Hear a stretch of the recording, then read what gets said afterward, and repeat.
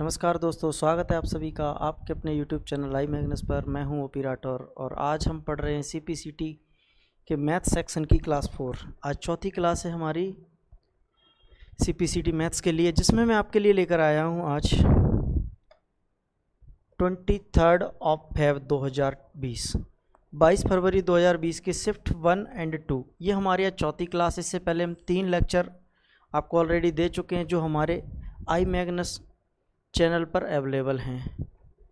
तो आप, अगर आप पुराने वीडियोज़ देखना चाहते हैं इससे पहले वाले तो इस चैनल को सब्सक्राइब कर लें और इस चैनल पर जाएँ। वहाँ पर आपको एक प्ले लिस्ट मिल जाएगी, मैथ्स बंडे के नाम से। मैथ्स बंडे एग्ज़ाम्स। ऐसे करके। तो वहाँ से आप बाकी के तीन चार वीडियो जितने भी होंगे उनको आप देख पाएँगे। तो ये हमारा यूट्यूब चैनल है। अगर आपको वीडियो अच्छा लगता है तो वीडियो को लाइक करें और चैनल को सब्सक्राइब ज़रूर कर लें। नेक्स्ट क्वेश्चन नंबर फ़र्स्ट आज की शिफ्ट का, आज की क्लास का पहला क्वेश्चन है जो लिया है हमने। पहली शिफ्ट से कौन सी? पहली शिफ्ट 22 फरवरी की ट्वेंटी सेकेंड फेब की। जिसका पहला सवाल ये कहता है कि एक दुकानदार ने पैंतालीस रुपये प्रति किलो की दर से तीस किलो गेहूँ खरीदा। हमें जितना डेटा दिया गया है, उससे हमें पता चला कि भैया खरीदा मतलब क्रय मूल्य। तो अगर मैं आपसे कहूँ गेहूँ का क्रय मूल्य कितना होगा, आप बोलोगे पैंतालीस रुपये प्रति किलो की दर से तीस किलो खरीदे हुए तो इनका गुणा कर दो, ये आ जाएगा तेरह सौ पचास रुपये तेरह सौ पचास रुपये फिर वो कहता है उसने कुल मात्रा का फोर्टी परसेंट पचास रुपये प्रति किलो की दर से बेचा, पच्चीस परसेंट का कुल लाभ प्राप्त करने के लिए उसे शेष चावल सॉरी शेष गेहूँ को किस दर पर बेचना चाहिए? किस दर पर बेचना चाहिए? तो सबसे पहले तो हमें क्वांटिटी देखनी है कि क्वांटिटी कितनी है, बोले तीस के जी टोटल क्वांटिटी है तीस के जी और इस तीस के जी का जो चालीस परसेंट है, वो बेच रहे हैं किस पर? पचास रुपये प्रति किलो पर। पचास रुपये प्रति किलो पर। तो ये हमारा बेसिकली यहाँ पे आने वाला है, वो क्या है? विक्रय मूल्य होगा। पहले तो मैं क्वांटिटी निकालता हूँ कि क्वांटिटी क्या होगी। क्वांटिटी क्या होगी? तो 40 परसेंट किसका? 30 का। 30 का 40 परसेंट निकालोगे तो 12 के जी आ जाएगी। 12 के जी ऐसा चावल है, ऐसा गेहूँ है, जो किस दर पर बेचा जा रहा है? पचास रुपये प्रति किलो। तो हमने इसमें मल्टीप्लाई कर दिया पचास का तो ये आ जाएगा छः सौ रुपये ये क्या आ गया? छः सौ रुपये ये विक्रय मूल्य आ गया दोस्तों, विक्रय मूल्य। बाकी का बारह किलो तीस में से बारह किलो हमने इस दर पर बेच दिया तो रिमेनिंग कितना बचा बोले? अठारह के जी इस अठारह के जी को किस दर पर बेचना, यही आपको बताना है। तो ये कैसे बताएँगे? सबसे पहले हमको ये पता करना है कि हमारा क्रय मूल्य कितना था? तेरह सौ पचास। और उस पर ट्वेंटी फाइव परसेंट का प्रॉफिट चाहिए तो मैं पहले इसका ट्वेंटी फाइव परसेंट निकाल देता हूँ। अगर तेरह सौ पचास रुपये किसी वस्तु का सीपी है और उस पर twenty percent twenty five percent का लाभ चाहिए तो क्या वो वस्तु एक सौ पच्चीस परसेंट में बिकेगी? बिल्कुल। तो इसका 125 परसेंटेज निकालो 125 बटे सौ। पच्चीस चौके सौ, पच्चीस पंजे एक सौ पच्चीस। अब उसने ये पूछा है लगभग लगभग का मतलब है अप्रॉक्स वैल्यू निकलनी चाहिए, हमें एग्जैक्ट मान की आवश्यकता नहीं है। चार से तेरह सौ पचास को काटो जरा तो चार तिया बारह, चार तिया बारह और चार सत्तर अट्ठाईस, तीन सौ सैंतीस आ गया। बाकी दो बचरा मैंने छोड़ दिया क्योंकि लगभग मान निकालना है। जब हम आगे तिर, तीन सौ सैंतीस का पाँच में गुणा करेंगे तो ये पैंतीस, पाँच तिया पंद्रह और तीन अट्ठारह, पाँच तिया पंद्रह और एक सोलह सोलह सौ पचासी रुपये आ गया। सोलह सौ पचासी रुपये क्या आएगा? हमारा विक्रय मूल्य आएगा टोटल विक्रय मूल्य एस पी इतने में बिकना चाहिए तो हमें पच्चीस परसेंट का लाभ हो जाएगा। लेकिन सवाल में ये बता दिया उसने कि हमने कुछ हिस्सा तो छः सौ रुपये में बेच चुके हैं तो भाई छः सौ इसमें से घटा दो। जब छः सौ को इसमें से घटा देंगे तो बाकी रुपए क्या बच जाएँगे? बोले, ये बच गए दस सौ पिचासी रुपये ये दस सौ पिचासी रुपये में आपको क्या बेचना है? अठारह किलो चावल बेचना है। दस सौ पिचासी में जब मुझे अठारह किलो चावल बेचना है तो यहीं से मुझे पता चलेगा कि भाई, जो बाकी का अठारह किलो चावल था, किस दर पर बेचा गया? बोले, दस सौ पिचासी बटे अठारह। अठारह संख्या होता है एक सौ आठ। जैसे ही छः आया, मैं ऑप्शन की ओर जाऊँगा छः से शुरू होने वाला एक ही ऑप्शन है, वो है साठ। और एग्जैक्टली साठ पर ही कटेगा, उसके बाद भाग जाएगा नहीं, पाँच में तो ज़ीरो हो जाएगा। साठ रुपये प्रति के जी हमारा जवाब आ जाएगा। साठ रुपये प्रति के जी बाकी का जो गेहूँ होगा, वो साठ रुपये प्रति किलो में बेचना पड़ेगा। क्लियर है? चलिए, अगले सवाल पर चलते हैं। दोस्तों, ये सवाल थोड़े से मैं फास्ट करा रहा हूँ, उसको कराने का रीज़न ये है कि यहाँ पर सिर्फ़ आपको प्रैक्टिस कराई जा रही है। यहाँ पर आपको बेसिक कॉन्सेप्ट बिल्कुल बेसिक से नहीं करा पा रहे हैं, क्योंकि इतना बेसिक कराना है तो आपको टॉपिक वाइज पढ़ना पड़ेगा। प्रैक्टिक प्रैक्टिस टेस्ट में आप इस तरीके से नहीं पढ़ सकते। अगला सवाल है टाइम एंड डिस्टेंस का कि 320 मीटर लंबी रेलगाड़ी एक खंबे को 50 सेकंड में पार करती है। तो आपसे पूछा है कि रेलगाड़ी की गति बताइए। भाई, गति मतलब होता है चाल और चाल बराबर क्या होता है? बोले, चाल बराबर होता है दूरी बटे समय। दूरी बटे समय होता है। ये बात याद रखेंगे। रेलगाड़ी या ट्रेन के केस में जो दूरी होती है, वो लंबाई को कहते हैं। ट्रेन की जो लंबाई होती है, उसी को दूरी कहा जाता है। वो कह रहा है कि 320 मीटर लंबी ट्रेन है, एक खंबे को 50 सेकंड में पार करती एक खंबे को पार करने का मतलब क्या होता है? कल वाली क्लास में भी मैंने बताया था कि खुद को पार करना, खुद मतलब ट्रेन को पार करना।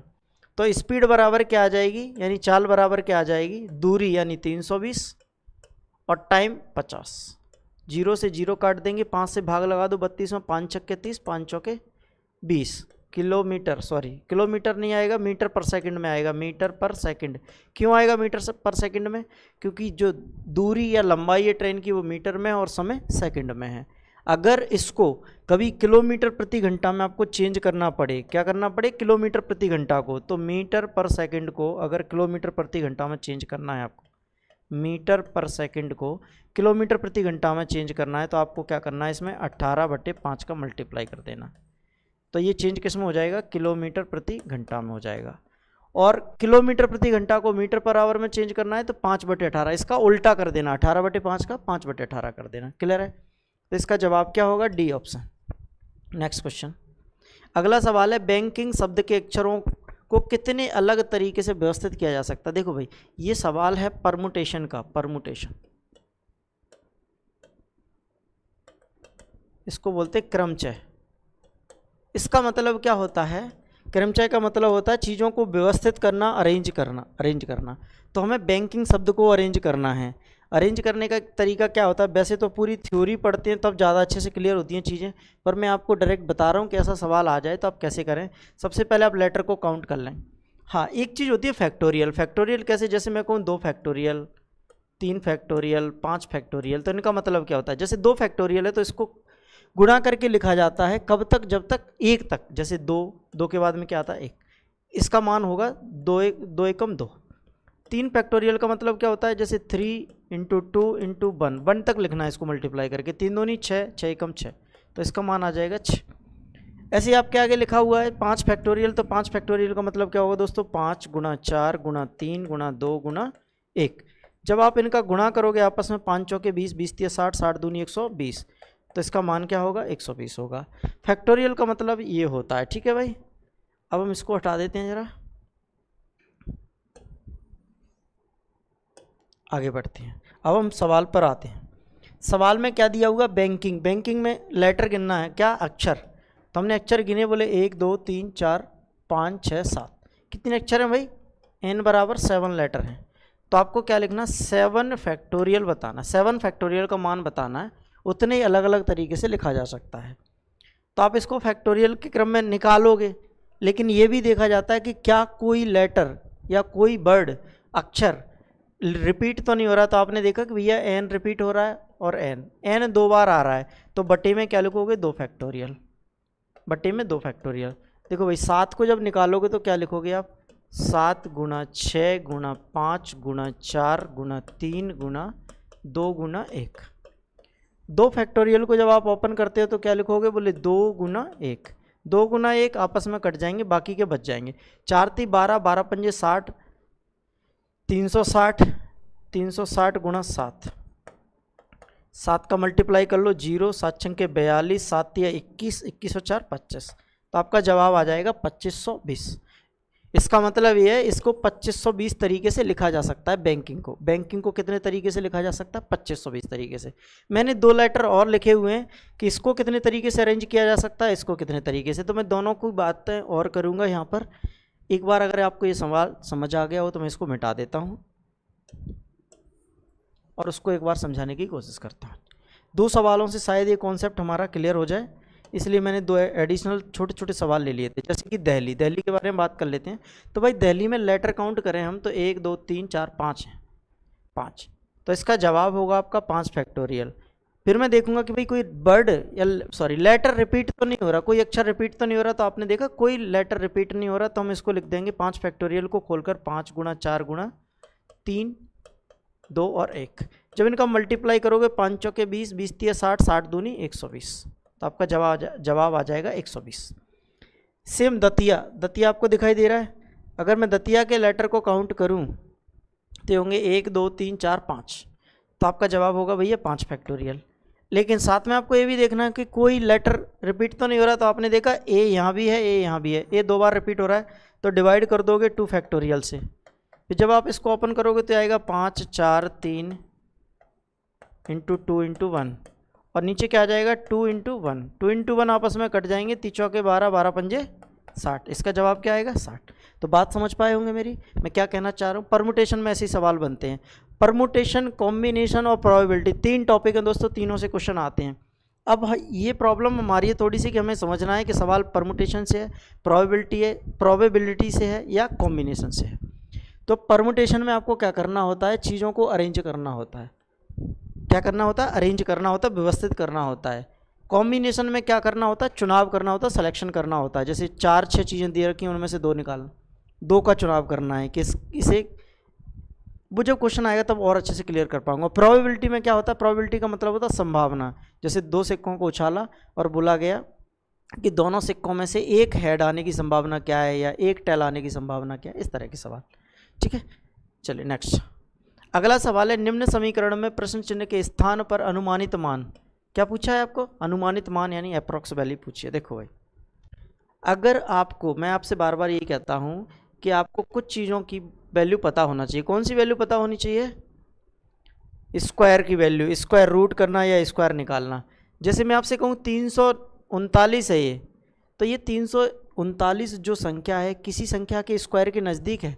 तो आपने शायद अठारह का स्क्वायर पढ़ा होगा तो आपको पता होगा कि अठारह का स्क्वायर होता है तीन सौ चौबीस। तो अगर मैं इसका अंडर रूट लेना चाहूँ अनुमानित अप्रॉक्स तो मैं कह दूँगा कि भाई अठारह आएगा। गुणा, ये तो पच्चीस है। लेकिन आपको पता है कि पहले डिवाइड को सॉल्व करते करते हैं। बॉड मास का नियम ये कहता है कि पहले भाग लगाओ, तब गुणा करो। तो हमने पहले भाग लगा दिया, इसमें तीस आ गया। कितना आ गया दोस्तों? तीस आ गया। अब अगर मैं इसको काट दूँ पाँच से पाँच बार और पाँच से छः बार। और छः से अठारह को तीन बार काट दूँ तो ये कितना आ जाएगा? ती पाँच पंद्रह। तीन पाँच पंद्रह अनुमानित मान आ गया हमारा। पंद्रह अगर ऑप्शन में है तो आपका राइट आंसर हो जाएगा बी। राइट आंसर हो जाएगा बी। आपको कोई पंद्रह एग्जैक्ट आएगा? बिल्कुल नहीं है। वो जो ऑप्शन आपको दिए हुए हैं, वो भी अनुमानित मान के हैं, अप्रॉक्स वैल्यू के हैं। क्योंकि अनुमानित यहीं से हो गया। हमने चौबीस मानकर इसको सॉल्व किया, तीन सौ चौबीस, ना कि तीन सौ उनतालीस। Clear next question.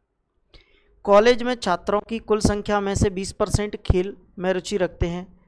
Sorry 12 percent खेल में रुचि रखते हैं। छात्रों की कुल संख्या में से तीन बटे चार परसेंट तीन बटे चार नृत्य में रुचि रखते हैं, जबकि 10 परसेंट गायन में रुचि रखते हैं। और शेष पंद्रह को, शेष पंद्रह को किसी भी गतिविधि में रुचि नहीं है तो कॉलेज में छात्रों की कुल संख्या बताना है। देखो भाई, जब आपको कुछ पता ही नहीं है तो मैंने मान लिया, टोटल स्टूडेंट कितने हैं? सौ है। टोटल स्टूडेंट है सौ। सौ में से बारह परसेंट खेल में रुचि रखते हमने बारह परसेंट इधर लिख दिया। बाकी छात्रों की कुल संख्या का तीन बटे चार। देखो भाई, तीन बटे चार का मतलब क्या होता है? तीन बटे चार अगर फ्रैक्शन में लिखा है, इसको परसेंटेज में बदलना है। क्यों? क्योंकि मैं परसेंटेज में बात कर रहा हूँ, मैंने मान लिया है कि टोटल छात्र सौ परसेंटेज या सौ हैं। सौ परसेंटेज या सौ हैं। परसेंटेज मानो, ना मानो से कोई फ़र्क नहीं पड़ता। आपने मान लिया कि सौ हैं छात्र। ठीक है भाई? अब देखो, बारह परसेंट छात्र ऐसे हैं जो बारह नहीं, दस परसेंट है क्यों? अच्छा बारह परसेंट खेल में रुचि रखते हैं, ठीक है भाई। ये खेल में रुचि रखते हैं इतने लोग। तीन बटे चार नृत्य में, तीन बटे चार को अगर मैं परसेंटेज में कन्वर्ट करना चाहूँ तो मुझे सौ से डिवाइड करना सॉरी गुणा करना पड़ेगा। चार से सौ को काटोगे तो पच्चीस बार कटेगा, पच्चीस दिया क्या होता है? पिछहत्तर परसेंट होता है। तो नृत्य वाले लोग कितने भैया? डांसिंग पसंद करने वाले लोग हैं पिछहत्तर परसेंट।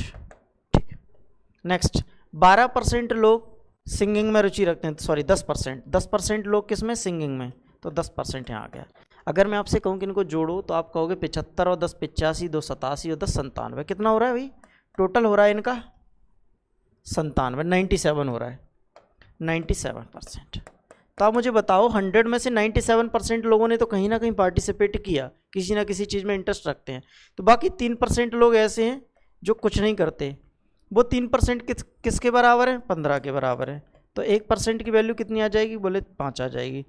टोटल छात्र मैंने कितने मान रखे हैं? सौ परसेंट तो सौ की वैल्यू कितनी आ जाएगी? बोले पाँच सौ। कितनी आ जाएगी दोस्तों? पाँच सौ। पाँच सौ बी ऑप्शन में दे रखा है आपको। किसमें? बी ऑप्शन में। ठीक है जी? यही इसका राइट आंसर होगा। चलिए, अगले सवाल पर चलते हैं।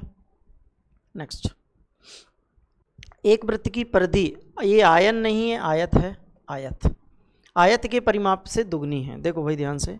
दोनों चीज़ों के फिगर बना देता हूँ आपको, साथ ही साथ समझ में आती रही चीज़ें। ये है व्रत और ये है आयत। इसकी जो परिधि है, इसके परिमाप से डबल है। व्रत का क्षेत्रफल पचपन चवालीस वर्ग सेंटीमीटर है। ये सीएम प्रधान, मुख्यमंत्री वाला नहीं है, सेंटीमीटर है। यदि आयत की लंबाई 40 सेंटीमीटर हो, यदि आयत की लंबाई 40 सेंटीमीटर हो आयत की लेंथ मैंने दे रखी है तो मैंने लिख दी 40 सेंटीमीटर। और ये होती है इसकी चौड़ाई, ठीक है भाई? अब हमें जो दे रखा है उसका कंपैरिजन करके कुछ वैल्यू निकालने की कोशिश करेंगे। हमें दे रखा है व्रत का क्षेत्रफल। तो भाई व्रत का क्षेत्रफल क्या होता है? बोले व्रत का क्षेत्रफल या एरिया ऑफ़ सर्कल क्या होता है? पाई आर स्क्वायर जिसकी वैल्यू दे रखी है पचपन चवालीस पचपन चवालीस। पाई की वैल्यू बाईस बट्टे सात इंटू आर स्क्वायर बराबर पचपन चवालीस। आगे देखिए, आगे जब सॉल्व करते हैं तो बाईस से इसको काटो, बाईस दूनी चवालीस। यहाँ से ग्यारह बचेगा, एक सौ चार, बाईस। अरे, दो से काट लो भाई, ग्यारह से काट लो दो बार। ग्यारह पंजे पचपन, एक ज़ीरो, ग्यारह चौके चवालीस। फिर दो से पाँच सौ चार को काट दो तो ये आ जाएगा दो, पाँच, दो दो सौ बावन। अब देखो, आर स्क्वायर बराबर आपके पास क्या मिल गया? बोले दो सौ बावन तो यहाँ था ही, ये सात का गुणा ऊपर आके और हो गया। अगर आप इसके फैक्टर करोगे तो छत्तीस गुणा सात है, छत्तीस गुणा सात। अगर आप आर इसको आर की वैल्यू निकालना चाहते हो तो इसका क्या लेना पड़ेगा? अंडर रूट लेना पड़ेगा। तो छत्तीस में से तो छः बार आ जाएगा, दो सात में से एक बार आ जाएगा, यानी आर की वैल्यू आ जाएगी बयालीस। बयालीस सेंटीमीटर आ गया आपकी रेडियस ये वाली, यहाँ से यहाँ तक की वैल्यू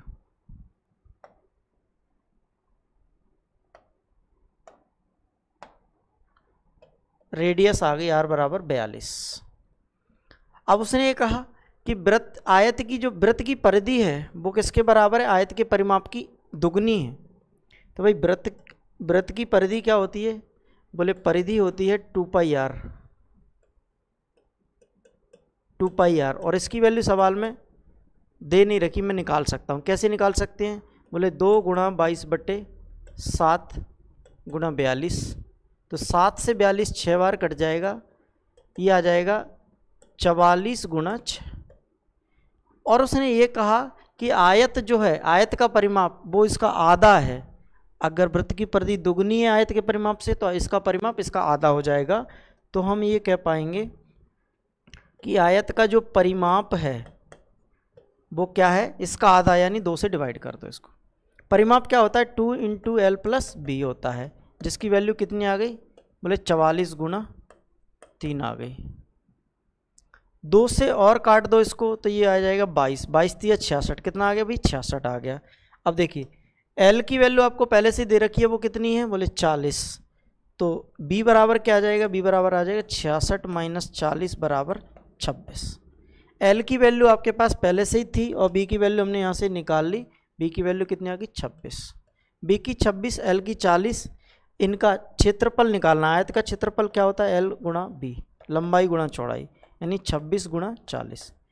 छब्बीस का डबल करोगे बावन बावन का डबल एक सौ चार, एक सौ चार के आगे एक ज़ीरो, दस सौ चालीस सेंटीमीटर स्क्वायर क्षेत्रफल क्या आ जाएगा? दस सौ चालीस वर्ग सेंटीमीटर आप सोच रहे हो इतने बड़े बड़े सॉल्यूशन होते हैं क्या? भाई सवाल में अगर इतनी सारी चीज़ें पूछी जाएँगी तो और कोई तरीका नहीं उनको करना पड़ेगा आपको।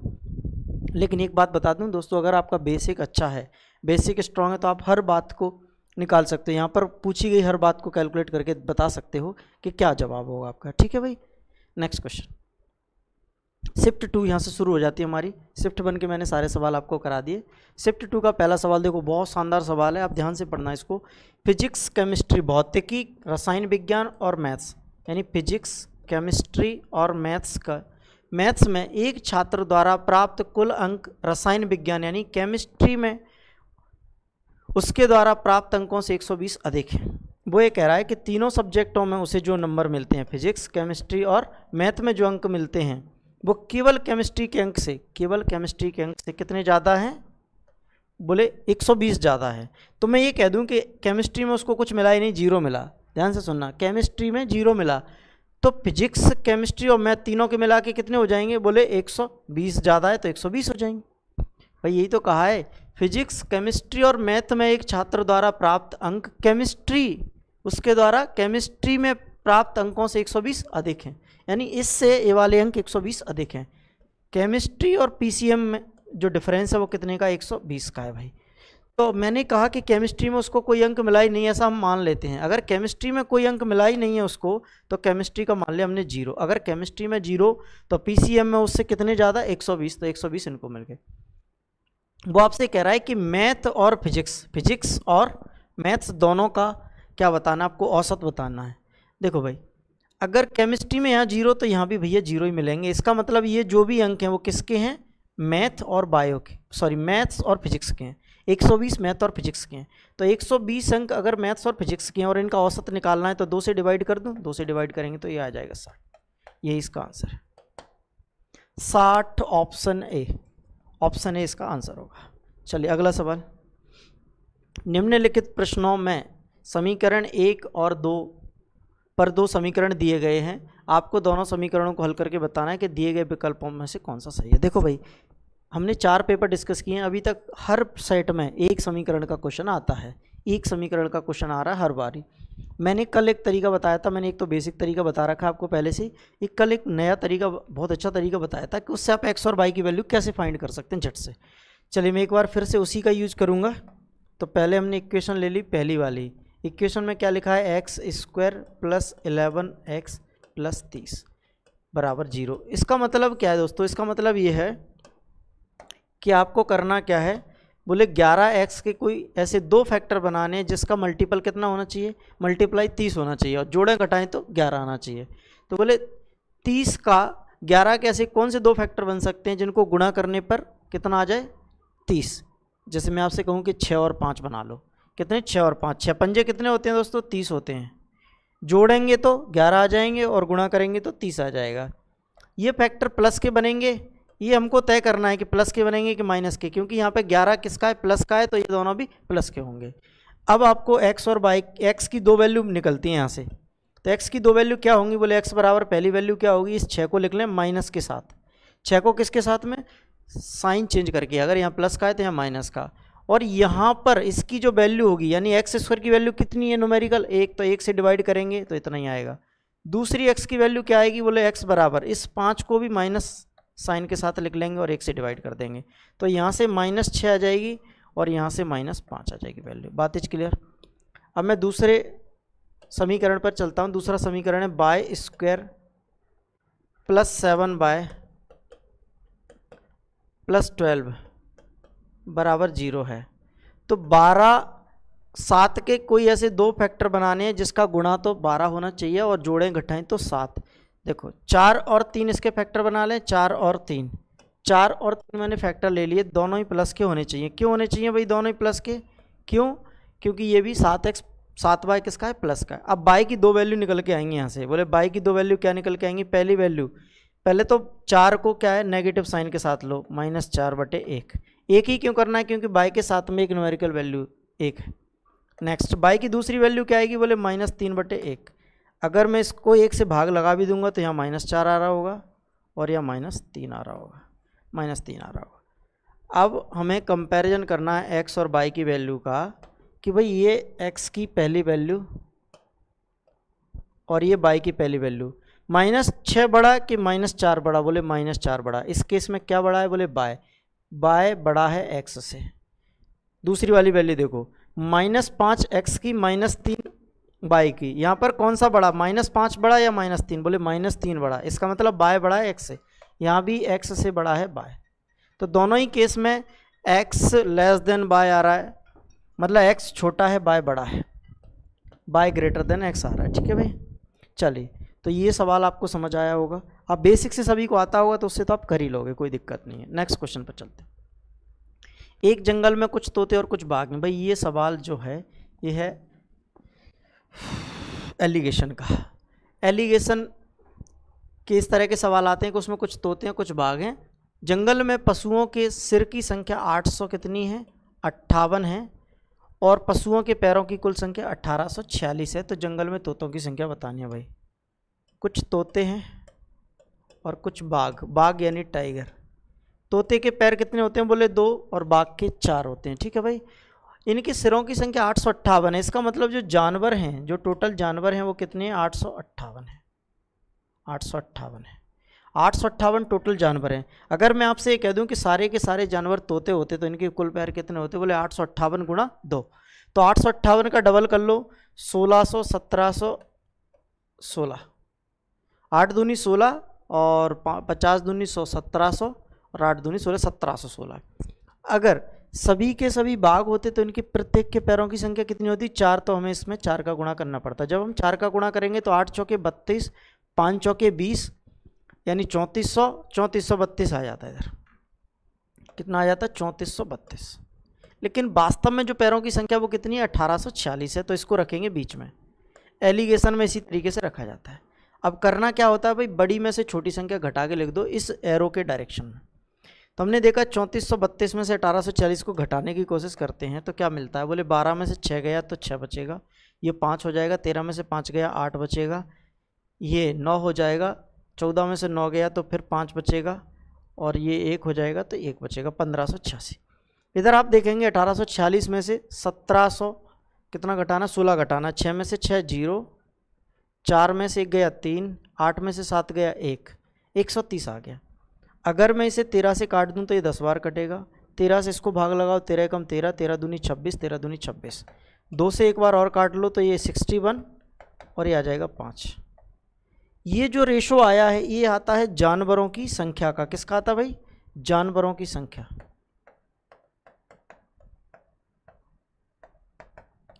ये जानवरों की संख्या संख्या का आता है, लेकिन वास्तविक संख्या तो नहीं है। अगर मैं आपसे कहूँ कि कुल जानवर रेशो में कितने हैं तो आपका जवाब होगा कि इकसठ और पाँच, छियासठ। लेकिन इस छियासठ की वैल्यू सवाल में कितनी दे रखी है? बोले, इतने जानवर हैं। कितने? आठ सौ अट्ठावन। तो हमने कहा छियासठ की वैल्यू आठ सौ अट्ठावन के बराबर है। तो एक यूनिट की वैल्यू कितनी आ जाएगी? चलिए इसको काटने की कोशिश करते हैं। छियासठ एकम छियासठ। छियासठ से इसको काटो। छियासठ एकम छियासठ। और यहाँ से बचेगा अठारह, छियासठ, छिहत्तर, छियासी, उन्नीस। एक सौ अंठानवे हो जाएगा। तो ये तीन बार कट जाएगा। एक यूनिट की वैल्यू आ जाएगी तीन।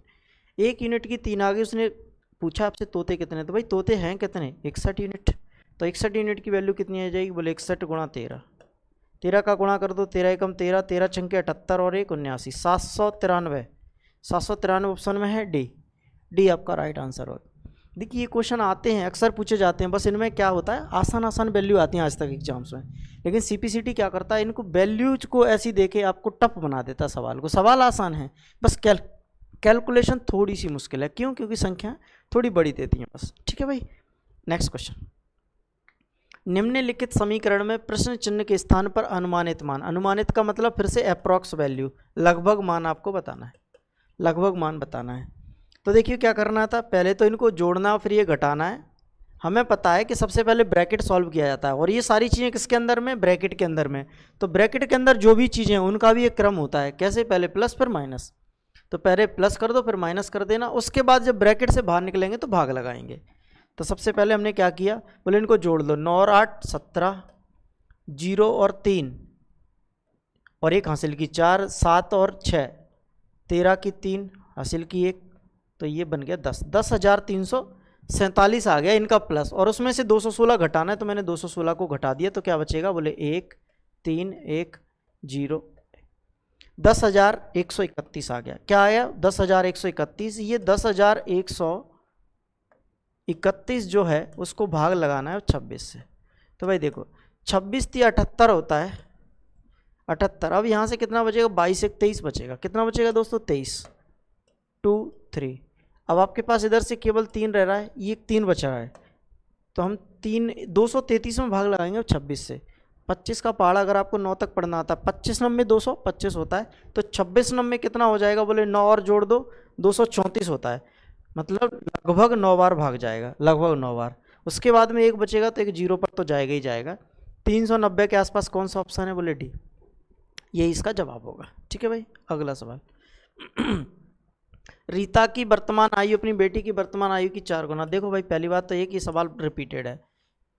मैंने पहले दिन जो सेट कराया था उसमें भी ये सवाल था।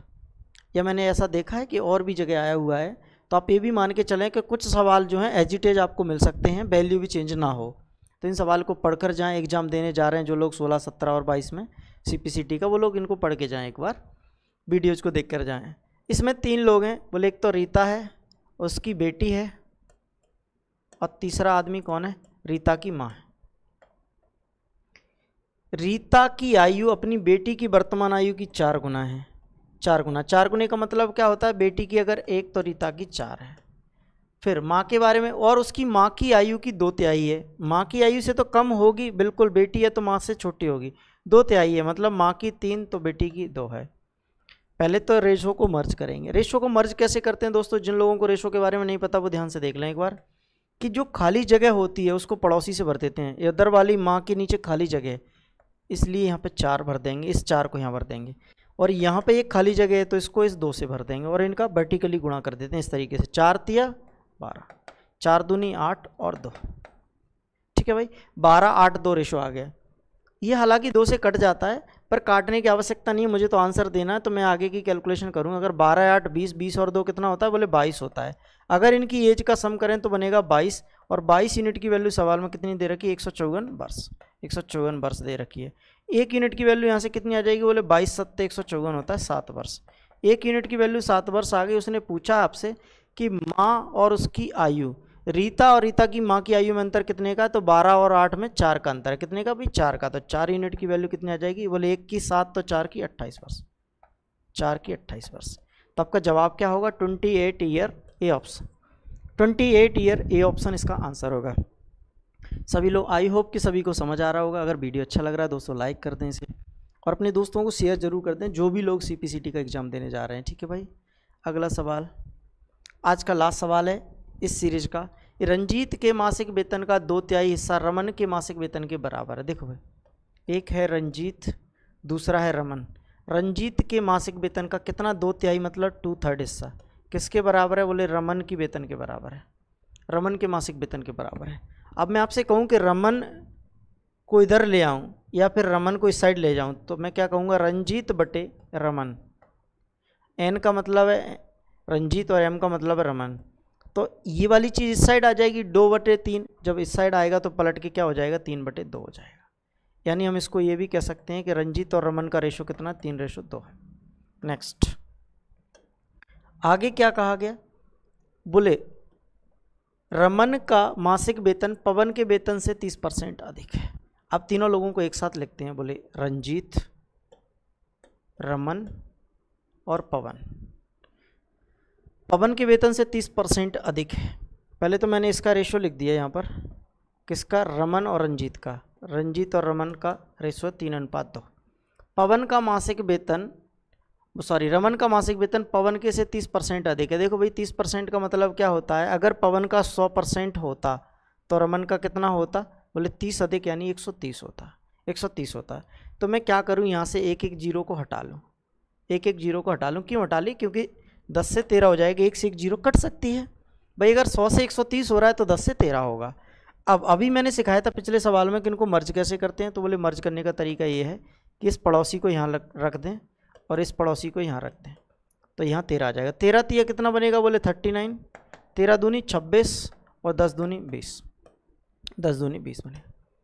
ये इन तीनों का रेशो आ गया कम्बाइंड कंबाइंड रेशो आ गया तीनों का। वो कह रहा है, पवन का मासिक वेतन कितना है? बत्तीस हज़ार। पवन का मासिक वेतन कितना भाई? बत्तीस हज़ार है। पवन का मासिक वेतन बत्तीस हज़ार है। मेरे हिसाब से पवन का मासिक वेतन बीस यूनिट है। कितना है जी? बीस यूनिट। तो हम कहेंगे, बीस यूनिट की वैल्यू कितनी है भाई? बत्तीस हज़ार। ज़ीरो से पहले ज़ीरो कैंसिल आउट, एक यूनिट की वैल्यू कितनी आ जाएगी? दो से इसको काटेंगे तो सोलह सौ बार कट जाएगा। एक यूनिट की वैल्यू आ गई सोलह सौ। तो उसने पूछा, रंजीत का मासिक वेतन कितना होगा? बोले, रंजीत का मासिक वेतन तो उनतालीस यूनिट है तो सोलह गुणा उनतालीस कर दो, उनतालीस गुणा सोलह सौ। मल्टीप्लाई करो ज़रा, क्या आएगा? तो मल्टीप्लाई करने पर ये मिलेगा, पहले तो दो ज़ीरो हैं ही साथ में, ये तो इसके साथ हैं, सोलह नंबर एक सौ चवालीस और सोलह तिया अड़तालीस अड़तालीस और चार बावन, दस बासठ। बासठ हज़ार चार सौ आ जाएगा, क्या आ जाएगा? बासठ हज़ार चार सौ sixty two two thousand four hundred sixty two thousand four hundred बात समझ आ रही है? इसका जवाब क्या होगा? बासठ हज़ार चार सौ। तो चलिए, आज के लिए इतना ही दोस्तों। आज के वीडियो में आपको जितने भी क्वेश्चन कराए गए, उम्मीद है कि आपको सारी चीज़ें समझ आई होंगी। अगर वीडियो अच्छा लगे तो इसको लाइक कर देना और ये हमारा ऑफिशियल यूट्यूब चैनल है, इसको लाइक कर लेना और अपने दोस्तों के साथ शेयर करना ना भूलें। तो चलिए, आज के लिए इतना ही। मिलते हैं नेक्स्ट वीडियो में। कल, थैंक यू।